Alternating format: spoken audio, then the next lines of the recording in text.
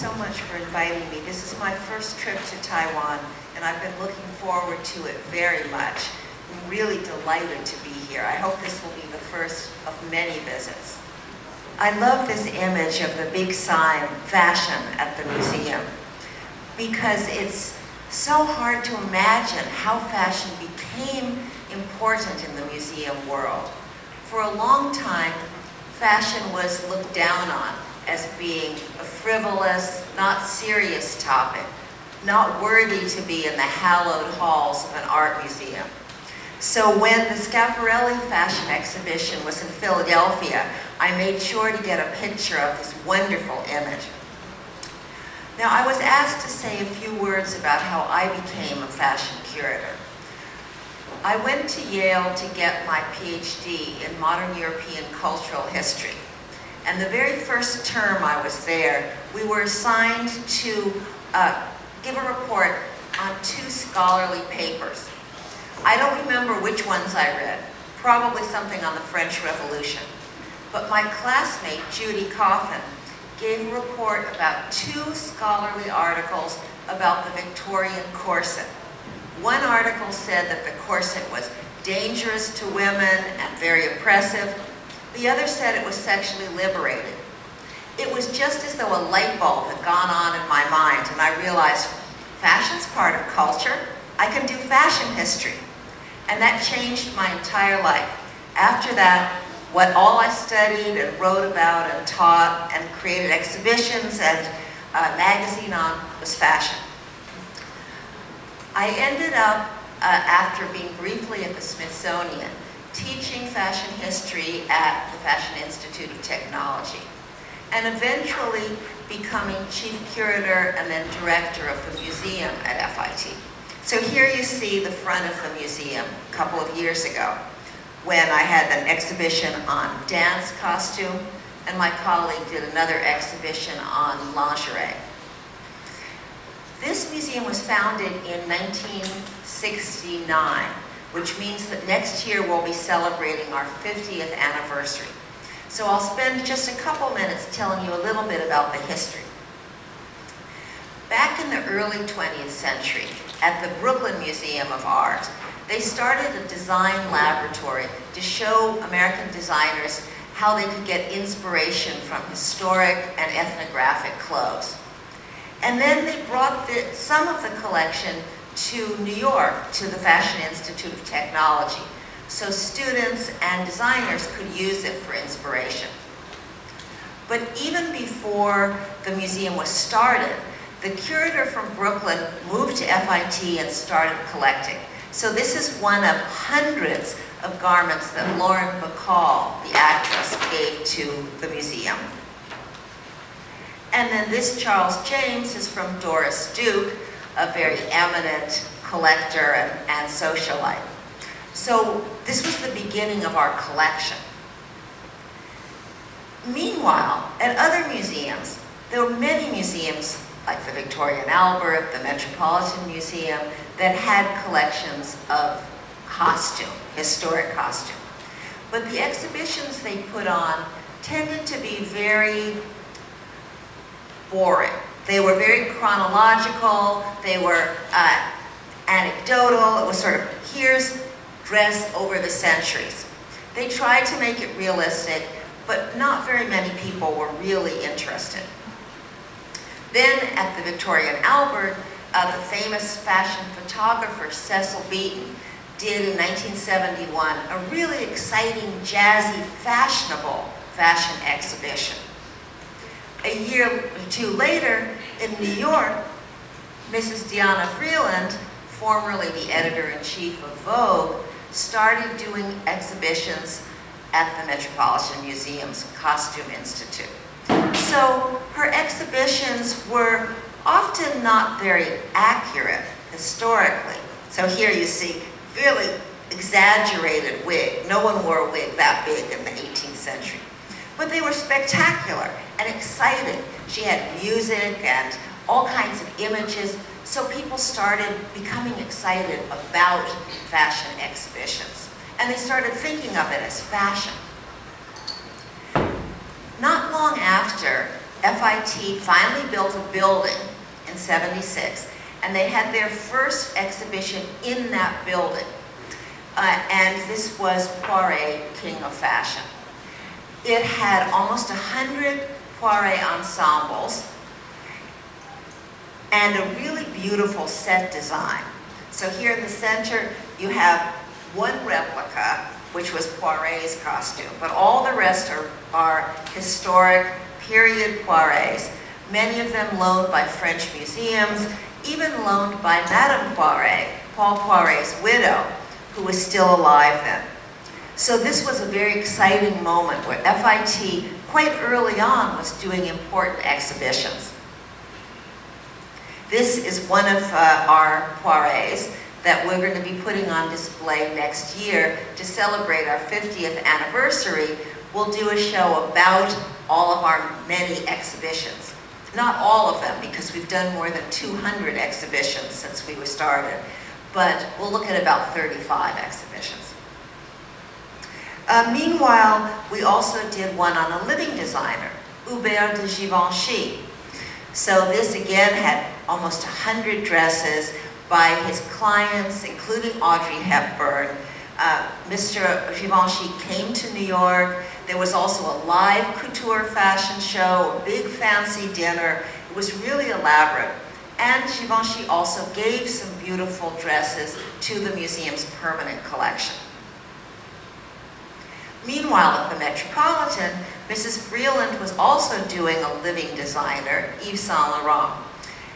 This, however, caused tremendous controversy because the press said, this is like giving a museum gallery to a car manufacturer to say, here, promote your business, it's free advertising. No one cared that FIT did it because we were just a fashion school, a fashion museum. But to have a great art museum show a living designer was controversial. And the Metropolitan started a policy where for the next more than 20 years, they didn't show any single exhibition about a living designer. They thought it was too controversial. Meanwhile, back at FIT, uh, a new team came in. Richard Martin and Harold Koda and Laura Sinderbrand started putting on great exhibitions uh, like Fashion and Surrealism, where they brought in things like the Salvador Dali dress with the lobster, and started showing how fashion and art could be connected. This was a very important thing for Richard Martin, who was a kind of mentor to me. Uh, he really helped young fashion scholars to realize that fashion was an important topic and that you could begin to do exciting things with that. So Richard helped me get my first job teaching fashion history while he was in charge of the museum. Another very important show that Richard and Harold did was Three Women. Here you see the one big gallery devoted to Rei Kawakubo of Comme des Garçons. And she had the mannequins on the floor. You could walk very close to them. It was not the way museums are allowed to do now. You could never do that now unless the designer chose to do it. Here you see a close-up this was an important show because Richard and Harold and Laura wanted to compare the work of three designers. Claire McCardell, the American, um, Madeleine Vionnet, the French woman, and Rei Kawakubo of Japan. And this was such an inspiring show. It actually inspired my book, Women of Fashion, because I wanted to ask the same question that the exhibit asked. Do women design clothes differently than men do? And this was a fascinating question which took me some years of research. Many years later, I went back to it a little bit with the show Fashioning the Modern Woman, which looked at women designers in between World War I and II. In Paris, women like Chanel, Schiaparelli, Vionnet, but also Madame Grès, uh, Louise Boulanger, Augusta Bernard, Sonia Delaunay. It was the golden age of the woman designer. Meanwhile, back in the old days, Richard and Harold did another great show that was pioneering on menswear, jocks and nerds, looking at different stereotypes about men. And this idea is still relatively rare. There are very few shows just devoted to menswear, even today. My colleague, Patricia Mears, has made something of a specialty of doing menswear shows. Here she did Ivy Style, which is looking at the influence of Ivy League men's fashions. And she set up a display to make it look like uh, an American college. And again, here you see Princeton, 67, all of these sort of Ivy League schools, Harvard and Princeton and Yale. Again, back in the early 1990s, Richard and Harold did a big show about Halston, absolute modernism, which they did the year after Halston died. And really they showed his clothes along with patterns. He had died in such disgrace, having lost the rights to his name. And they pointed out he was a great designer. He was a really interesting, important designer. Recently, Patricia Mears looked at this again. This is from the 19, very sort of modernist design of the exhibition. When Patricia did her show, recently she compared Yves Saint Laurent and Halston these 1970s years. And when I went to Paris to the Yves Saint Laurent Foundation, my friend Connie Uzzo warned me, she said, don't worry, Mr. Bergé was angry at you, but it's okay now. Because Pierre Bergé didn't like that we had dared to compare the great genius, Yves Saint Laurent, with this American designer, Halston. But in fact, they were quite interesting, although very different designers. Each was the most important in his country in the 1970s. Before Richard and Harold went to the Metropolitan, they did one last big show at FIT, which was Gianni Versace. And Versace was still alive. He took part in the exhibition. It was very exciting. And then they went up to the Metropolitan.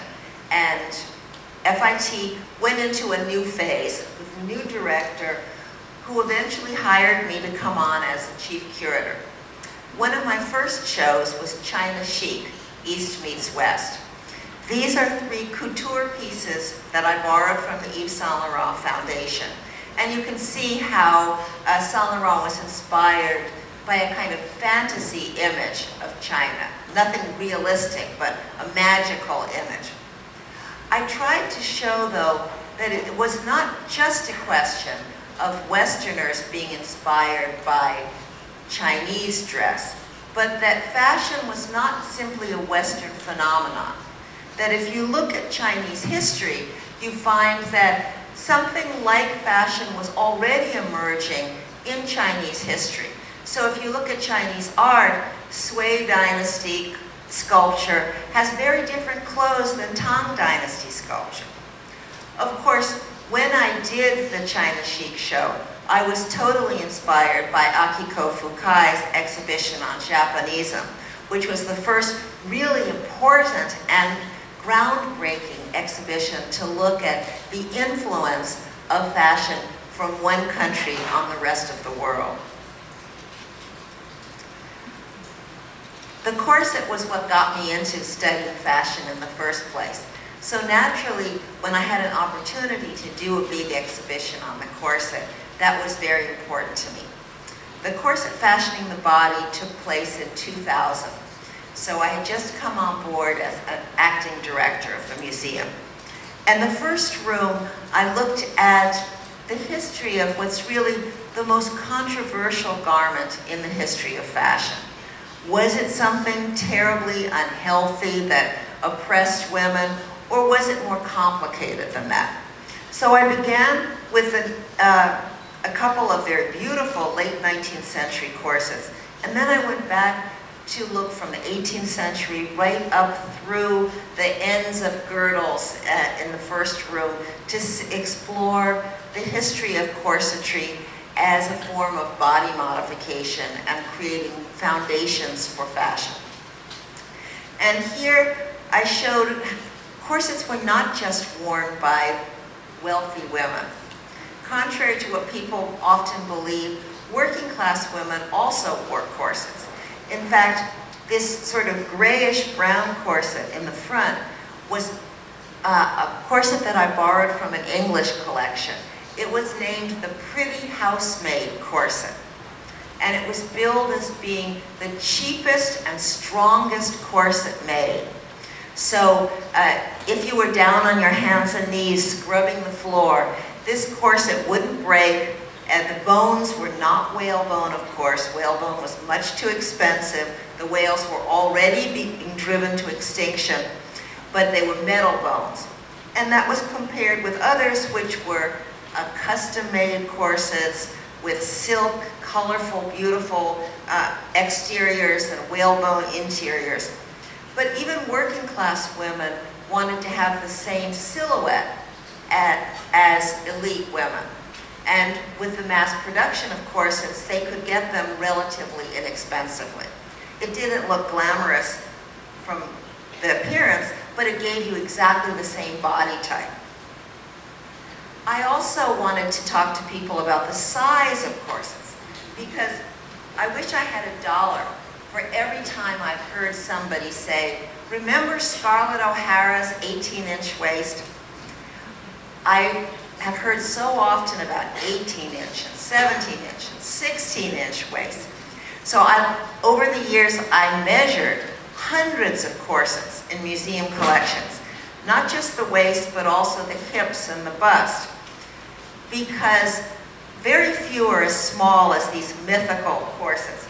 This one here has a tiny, tiny little 19-inch waist, but it also has tiny little 28-inch hips and a tiny little 30-inch bust. The woman was a stick insect, so tiny. Um, and the others can be often quite large, can have a 30-inch waist or a 32-inch waist. And this is when they're laced completely closed and back.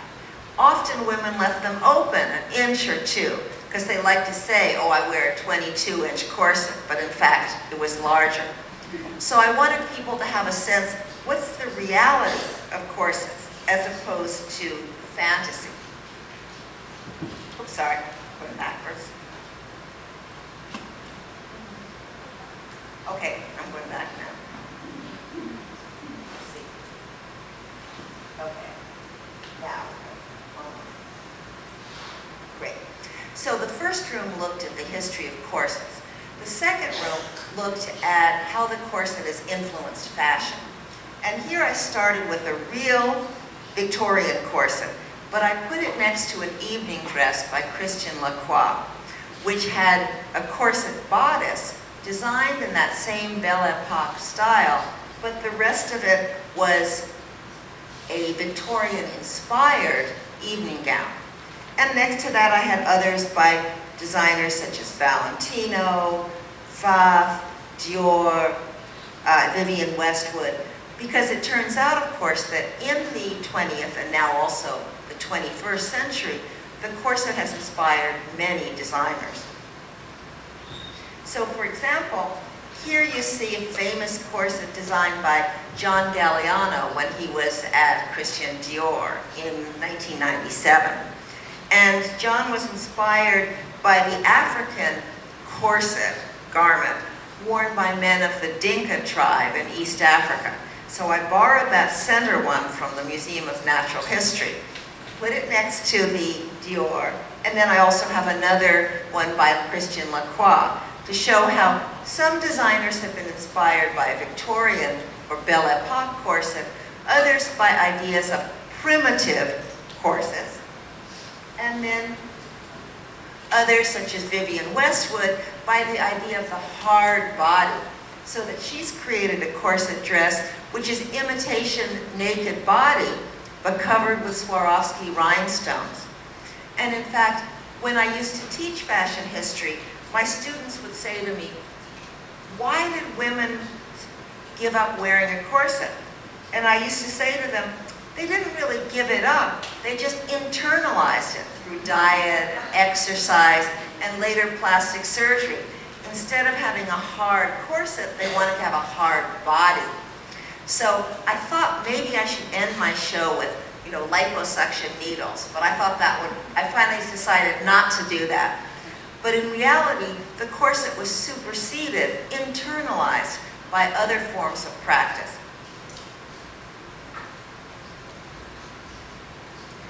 One show which had an enormous impact on me and many other curators was the one on subculture that the Victoria and Albert had in, I believe, the early 1990s. This show looked at how fashion moved from the sidewalk to the catwalk. So it showed how punk's clothing inspired high fashion, hippies' clothing inspired high fashion, and of course, it was very criticized at the time because it was such a new paradigm. But it's been so important. It subsequently inspired many of my shows, uh, like London Fashion or Gothic.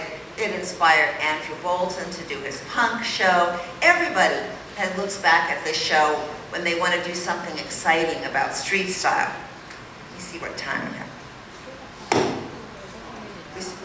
Plenty of time still? Okay, good. So here's a shot of my London fashion show, which I was happy to say won the first Richard Martin Award for a fashion exhibition. Because after Richard died, he had left in his will money for a prize and for a student symposium about fashion.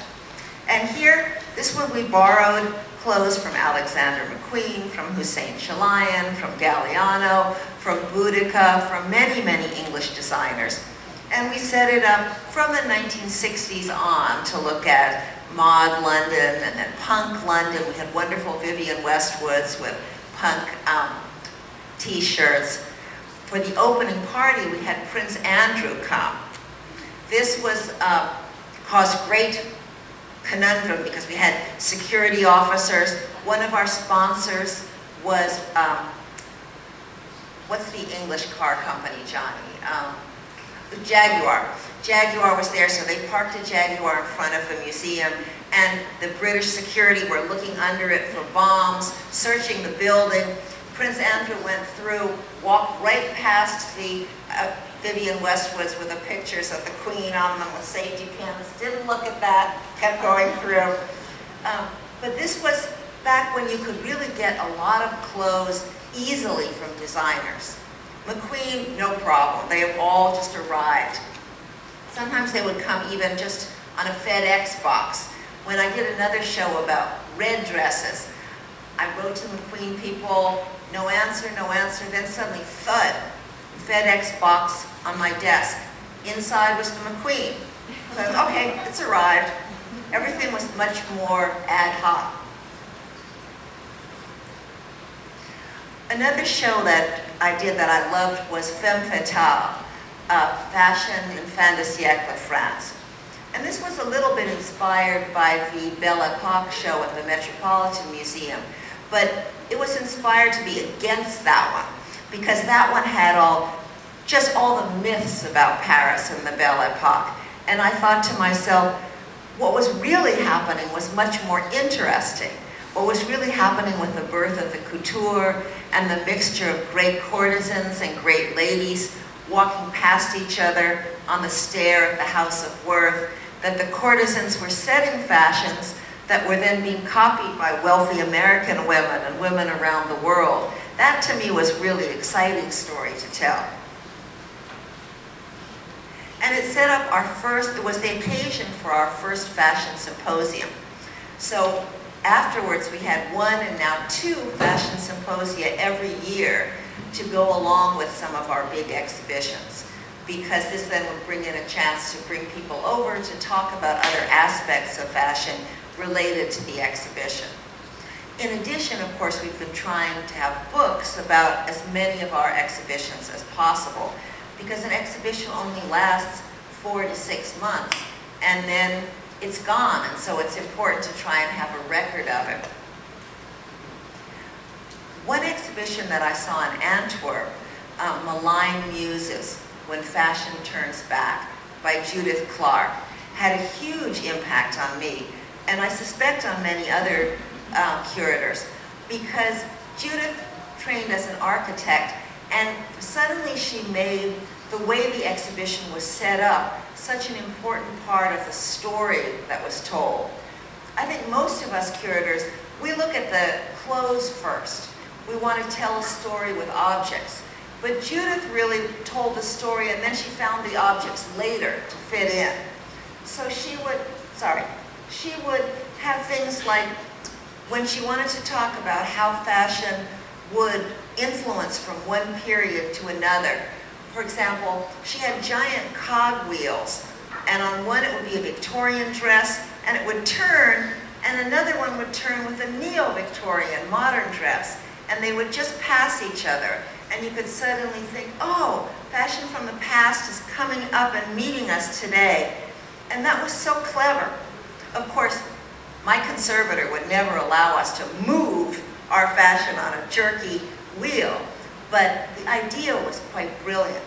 And so when, when I did my show Gothic, Dark Glamour, I said to my staff, we need to really create a mise-en-scene, a setting, which will give the sense of what Gothic is about. That the Gothic is a, an idea that's about death, destruction, and decay. It's about the glamour, really, of terror and, and sort of erotic danger. It goes way back in time. And we need a setting that will create this feeling. So I got the idea back when I was still teaching.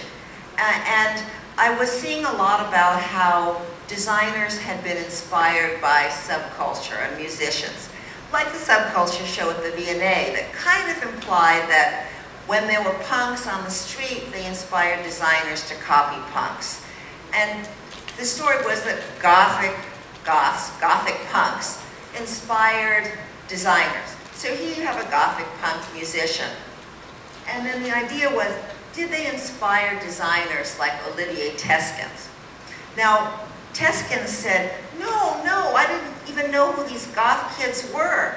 I, when they asked him about this, he said, are you talking about copying Gothic cathedrals? What do you mean? And I wanted to prove that no, he was not copying the Goth kids and the Goth musicians, but both the Goth kids and the designers were inspired by a whole history, literary, artistic, cinematic, and from that they each created a style which we could call a Gothic style. So for example, something like a Fuseli painting in the 18th century. Is the painting of the Nightmare, where she's in a white chemise. Has she fainted? Has she died? Who's this monster on top of her? At the same time in the 18th century, the idea of the Gothic literature of terror developed with early stories about the Middle Ages with scary, creepy knights and monks and endangering people. That all started a trend which later led to writers like Edgar Allan Poe or stories like Frankenstein or Dracula. And the whole, by the Victorian period, you had a whole cult of mourning, a cult of dressing up in black for years and mourning the dead. So I set up another vignette which we had mourning dresses and a coffin next to them and a mourning veil in back to show one of the things that inspired then later designers like Alexander McQueen, inspired by Victoriana and especially by this cult of mourning. So, and vampire stories. So here we have a Thierry Mugler dress inside another coffin. This was inspired by a window at Barney's department store that Simon Doonan had thought of putting uh, another Mugler, very vampire-ish look inside a coffin in the window. And the dress next to it, the red dress by Eiko Ishioka, the brilliant film costume designer. This was from the movie Bram Stoker's Dracula. So again, films, books, all of these brought ideas about vampires and sexy creatures of the night. Dracula is a very sexy book. It's all about strange, perverse sexuality and, and the exchange of bodily fluids at night. The color black also is a big part not only of Gothic style, but of high fashion. When I was working on this show, I, I wrote a letter to Anne de Meulemeester, the Belgian designer, and I asked to borrow one of her dresses for the show. Now, Ann is a woman who has worn nothing but black since she was 15 years old. Her collections were 95% black. She called me up and she said, Val, I trust you and I will lend you a dress, but I want you to know that I am not a Gothic designer. I said, okay, Ann, what do you think Gothic means? And she said, tacky, skulls all over everything. I said, well, it's dark glamour. It's kind of about dark romanticism and she said, oh yeah, that's me, dark romanticism. So that was okay. So we set this up, again, Gothic style is very theatrical. So we had a painted backdrop, but we made it look deliberately like in a theater, not realistic, to capture the sense of this. Gothic is also, as I said, about death and destruction. It's is based on ideas about the religious architecture all crumbling from the Middle Ages. And that inspired this idea of a ruined castle. And in front of it, the green dress by Alexander McQueen from his collection about witchcraft, about his turned.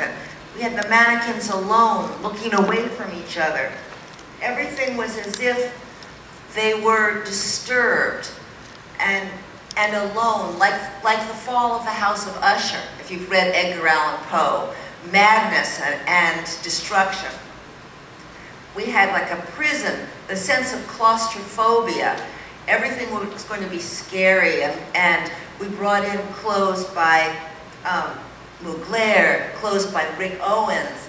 Um, Rick Owens, who said he grew up in Southern California and became a goth himself in reaction against all the sunny, sunny, blonde California, he wanted to be all in black and at night and listening to Wagner.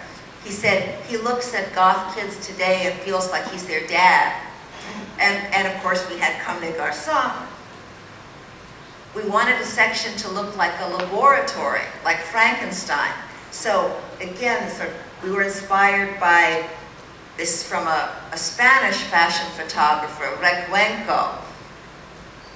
And we set up a section with rubber walls, again like a madhouse, and with faces pressing through the walls, inspired by a horror film. And each face was hand carved. And the dresses were all mechanical again. We had this corset by Alexander McQueen made out of leather with big, rough Frankenstein stitching on it. Again, to look the idea of creating monsters. What was Gothic fashion going to be about? And of course, we had a section about goth kids and about, you know, gothic musicians, like from, from goth bands like Specimen, right up through cyberpunk. So this was great fun.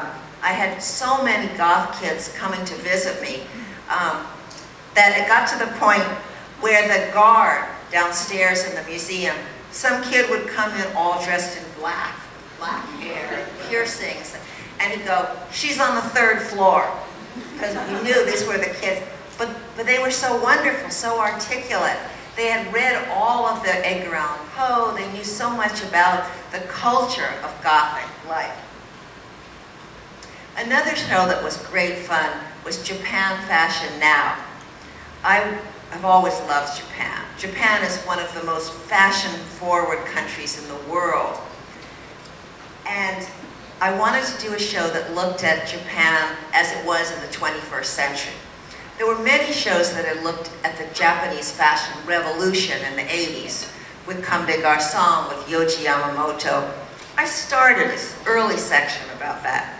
But most of the show was about what happened later in the, in the 20th century and in the 21st century? How did it change how did the influence of contemporary Japanese art become really important in the 1990s? And most of all, I wanted to give New Yorkers an idea of what it was like to go to Tokyo. Tokyo is such a great shopping place. Every time I go, I spend $1,000 on the first day um, because there's, everything is so new and exciting. So I wanted the set to look like Blade Runner.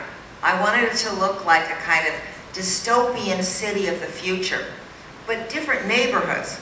So I sent my husband John around town with, with instructions. Take a picture of the Prada store in Omotesando. Take a picture of this and that. So then we would do, we'd send the pictures in to be, first of all, turn it from color to black and white, and then distort it. And so then we would have, this is sort of a distorted version, the Prada store of Omotesando. And we'd have, here we've got a lot of the undercover fashions. And then we moved to other parts of town. And we, the menswear is fabulous in Tokyo. Really, really avant-garde and excited. So I went around and interviewed different menswear designers. And oh, the, this got a huge amount of attention because you couldn't buy these clothes in New York. Certain hip hop stars would go to Tokyo and they would have copies made from their size. And then of course the street style. So again, sort of the Harajuku style. So we then had the little Lolita clothes. We also had schoolgirl uniforms. Uh, and then I became fascinated at the Lolita stores. They had these amazing, expensive, beautiful fashion dolls. And so I started borrowing some of those to put on display. And we had all kinds of live events. We had a, a Japanese fashion, live fashion show. We had a Japanese tea party. We had Miss Cute Japan come and visit, which got all of her, 800 of her fans were there. It became a real event. Um, this is from another show we did on shoe obsession, but the transition is this is by a Japanese designer who's been working on these wonderful, wonderful shoes. So I was able to introduce him to Daphne Guinness. And then, of course, Daphne started wearing his shoes. That was probably the most successful, most popular of our shows was the Shoe Obsession show. Hint to museum people, if you want to get a lot of people in your exhibition, show shoes. Show modern shoes, not historic shoes. People want to see modern extreme shoes. My colleague Patricia is more of a connoisseur than I am. I like to do sort of wild cultural shows like Gothic or Japan. She does shows where she looks at a beautiful designer like Madame Grès and analyzes the construction and the style, the classicism, for example, of Madame Grès, which of course has inspired many other curators as well. You had Madame Grès shows in Paris, for example. She also did American Beauty, which looked at a variety of different American designers saying to the Europeans, who always say Americans only just do blue jeans and sportswear, Patricia said, no, no, Americans can also do very elaborate evening wear, beautiful clothes. That's just a stereotype that there's no fashion in America. Working with Daphne was wonderful. I, I met her at one of our fundraising lunches, sat her next to me, and as soon as I met her, I said, would you like to do an exhibition with me? And she's like, oh, no, no, I couldn't do that. And I gave her a tour of American Beauty, and she, we were looking around, and she said, were you serious about doing a show with me? And I said, yes, look, sweetie, there's 80 dresses here. I said, you've got 80 dresses, don't you? And she said, yes. So we went to her closet in New York and in London and picked out about 80 of her clothes and organized an exhibition. So here, for example, uh, this wonderful McQueen kimono. She told me how her friend Isabella Blow wanted her to meet McQueen. And she said, I don't need to meet him. I can just appreciate and buy his clothes. And so she was wearing this kimono dress, walking across the street in London, and suddenly a very working class voice called out, Oi, you! You don't want to meet me, but you're wearing my dress. And it was McQueen. And they went off and had tea and became friends. So when we were working on the show together, I said, well, Daphne, why don't you talk to him and ask him if he'd like to do a show at FIT? And she did, and he said, don't you think it's too soon for a retrospective? And of course, sadly, within less than a year after that, he was dead. But he'd always been very generous about lending clothes, but he thought he was still too young to have a full-scale retrospective. But after he died, then of course the Met, which still was holding to its policy of no exhibition on a single living designer, they did one on Versace once he was dead and Alexander McQueen after he died. Another show we did recently uh, was about the influence of gay designers on fashion. A queer history of fashion from the closet to the catwalk. And we thought it would just be maybe a hundred years of fashion, you know, from, oh, you know, sort of Oscar Wilde to now, something like that. But then when I started doing research into gay history, I realized that there were gay subcultures in London and Paris and Amsterdam as far back as the 18th century. So we started looking at 18th century clothes when there were um, men who were fashion creators and fashion retailers, as gay men, as early as the 18th century. There were cross-dressing cultures of men, mollies, um, and so this became our, our new starting point. We had no idea. No fashion history had talked about this. But by crossing gay history with fashion history, we brought something new into fashion history. And this, I think, is an important idea that if you look at another field, you can often bring in something really interesting. Of course, Oscar Wilde was an important figure in fashion, and bringing in things like knee breeches, looking back at 18th century fashion. Bringing in ideas of aesthetic dress, the green carnation, the history of why green has been an important color for gay men as a secret code. We also looked at lesbian influence on fashion, and in particular the influence of women like Marlene Dietrich, who was a famous bisexual woman who wore men's clothes uh, both in her personal life in Berlin and in Hollywood and on screen. Uh, and we had, we borrowed some of her clothes from the Berlin Film Museum and we showed, for example, one of her tuxedos next to the, the famous Le Smoking that Yves Saint Laurent had created. And Yves Saint Laurent said, my sexuality is very important to my creativity. And he also said he was inspired to do the smoking by having seen Marlene Dietrich in a man's evening suit.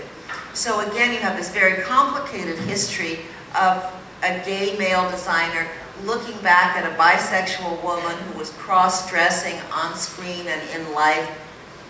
So this began to be a very interesting saga. Of course, the end midpoint of the exhibition was the AIDS crisis, when after the, the rise of gay liberation, suddenly the spread of AIDS meant that so many people were dying. And we had some of the political t-shirts and also clothes by some of the many, many people who died of AIDS. People like Halston and Perry Ellis, famous male designers then we went on as well and looked at the kind of hypersexual and often playful approach to gender and sexuality. Designers like Jean-Paul Gaultier, who did the cone bra, who also did the pink uh, sailor suit, taking the sailor outfit, which is a gay icon, and making that fashion. The whole kind of almost drag queen aesthetic of a Thierry Mugler. The homoerotic imagery, like the Calvin Klein advertisement we were able to look at the Versace uh, leather sex collection and compare it with, in fact, a gay leather sex ensemble uh, loaned to us anonymously by a gay male designer, which reminded me back of when I worked on my fetish book. and I talked to some leather sex people and I said, what do you think of the Versace collection? Pretty cool, right? And they said, we hate it. And I said, really? Why do you hate it? It looks exactly like what you guys are wearing. And they said, that's right. Before you could tell what somebody liked by what they wore. Now it's just a fashion statement. You have no idea if they really like that kind of sex. Another recent show by one of my young designers, one of my young curators, um, was fairy tale fashion. Colleen Hill, who just a few years ago was a graduate student in curation, is now uh, a full curator with us and is doing really wonderful shows, including this one that she did on fashion and clothes in fairy tales. Because clothes often play an important role in fairy tales, and she organized it according to the fairy tale. Obviously, this is Little Red Riding Hood. And we have things like a real little 18th century Red Riding Hood from the 18th century, next to a real 18th century nightgown like grandma would have worn and the wolf would have worn dressed up as grandma, right up to, closest to me, a Comme des Garçons red patent leather cape. Another one she did was Rapunzel, let down your hair, with a princess in the castle letting her hair down to her boyfriend. And we have a wonderful tapestry, and then also this Alexander McQueen dress with the gold embroidered hair. This was one of, this is a, another example of one of the two outfits that Daphne would not lend to her show. Daphne was so generous, she loaned everything I wanted except for two things. One was her copy of this dress, and one was her copy of a man's tailored suit. She said, I have to have something to wear while my exhibition is up all those months in New York. But we were eventually able to buy this dress at auction. This issue of what you acquire for a museum is very important. And we tried to buy this dress at auction before and failed. We didn't have enough money, someone else bought it. But a couple of years later, it came up again, and we were able to buy it. What we try and do is buy clothes that have historical and or aesthetic significance for the history of fashion. And I always say a fashion museum is like a shark. If it stops moving, it dies. A fashion museum has to keep collecting contemporary fashion. But that's tricky, it's very hard. You have to work with designers, try and get them to give you things or sell you things at a good price. If you miss it, you have to try and get it at auction. I mean, you're looking, looking for things all the time. Um, we used, we use um, McQueen clothes in many of our exhibitions because he was such a genius designer. So, you know, this one dress closest to me we, was in the queer exhibition because mm-hmm. McQueen also talked about, he said, I came out of the womb gay. I was like, you know, a little pink lamb coming out. And he said that a lot of his collections, what they had to do with was his personal life and going through struggles with, for example, his sexuality and anti-homosexual feelings that he had to grow up with living in a working class neighborhood where people would call him names. And a lot of that he had to work through in the clothes. You see, for example, in the Joan of Arc collection, about a woman who was persecuted. Um, and I think he often felt like he was the outsider like that. And so sexuality was important to him and we used him in that exhibition. This case, however, he's being uh, featured in an exhibition, Force of Nature, which is about how fashion designers have drawn inspiration from nature. Uh, and he was very much about that, from not just from going scuba diving and seeing life under the sea, but also ideas about evolution and de-evolution how humans might start to devolve into something else. This show also looked at, for example, the exploitation of nature, the way that feathers, for example, drove certain kinds of birds almost to extinction, about how other kinds of clothing might be inspired by bird patterns. This, we used uh, a lot of videos in the exhibition. This one showed birds of paradise, and again how the color and decoration in many animals and birds is about sexual selection. It's to attract the female, and so the male birds are the decorative ones. And so the, uh, the curator, Melissa Marra, was asking, you know, does sexual selection also play a role in human fashion? Are we dressing to attract others of the opposite sex or our own sex? Why is it that women are now the fancy ones and men are the drab ones when in the animal kingdom it's usually the other way around? So very, very interesting and intelligent show. This is another one by a young curator, Emma McClendon, uh, called The Body, Fashion and Physique, looking at how fashion has valorized certain body types and marginalized others. So for example, those who are too fat find it hard to get fashionable clothes. And one actress uh, actually went online and she said, nobody will dress me for the Oscars. And so a young designer said, well, I'll dress you. And he eventually then did the red dress for her. So we, the Emma looked at how fashion over the years has addressed different body types, different abilities, if you're disabled, if you're too fat, if you're pregnant, if you're too old, what are the problems and why is fashion ignoring so many people? And then the last thing I just want to show you is a few images from the show I'm working on right now. Uh, it will open next fall, so September and early January, come to New York. It's, uh, it's pink, the history of a punk, pretty, powerful color and we'll have about 100 dresses and menswear, but we'll also have a little vitrine based on this wonderful photograph full of little girls' pink clothes and toys, which I've been collecting from people and children all over. My Little Ponies, Barbies, princess dresses. We'll go all the way back to the 18th century when pink was not a feminine color. It was, it was a fashionable color for men and women, as well as for interior decoration and decorative arts. Uh, we'll look at, uh, we won't have this exact painting, unfortunately, if this painting is traveling, but we'll also look at the importance of pink and the body. You know, the idea of pink with, with lips and nipples and blushing. And so pink being associated with eroticism, and particularly with the female body and with makeup. We'll look at pink also in menswear and across culturally. So we'll look at pink in Mexico, in Japan, in China, in Africa, within African American culture. Here you see the famous boxer Sugar Ray Robinson in 1950 wearing a pink jacket with his pink Cadillac, standing in front of his restaurant, which had Sugar Rays and pink, all of which influenced Elvis Presley, who soon got a pink Cadillac himself wore pink jackets.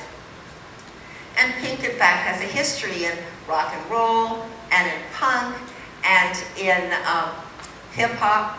So uh, one, one member of The Clash said pink is really the most rock and roll color.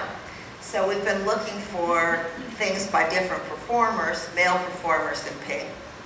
And then of course pink has been an absolute mania in fashion for about the last four years with millennial pink and particularly with Gucci. So we're also collecting a lot of contemporary fashion, Gucci, Valentino, Comme des Garçons, uh, menswear as well as women's wear to see if maybe we're coming full circle if fashion, if pink is now becoming a, a unisex, uh, androgynous color that has a kind of cool quotient instead of just being a sweet feminine color.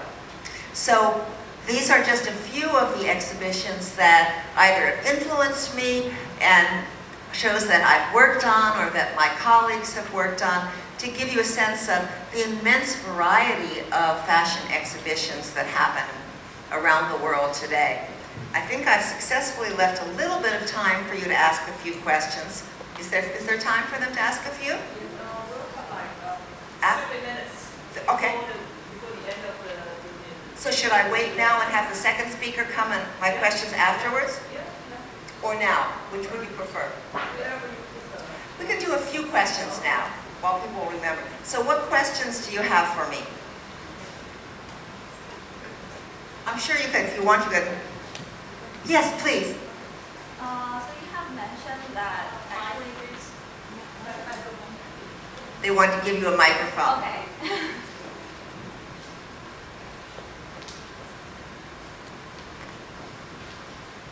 So first, thank you for your uh, fascinating speech. And I would like to ask that you have mentioned for a museum, it's really important that to collect the clothes that has the minimum for that age. So I would like to ask for you, uh, to, uh, to you, what's the image of fashion that could represent the age nowadays? Ah, well, in the past, you could imagine a particular period with a particular style of dress.